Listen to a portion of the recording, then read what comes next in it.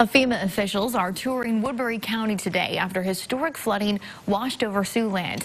The area has since been declared a disaster survivor assistance zone by Governor Reynolds and President Trump. KCAU 9 was there with FEMA officials today as they went door to door to help those impacted sign up for financial assistance.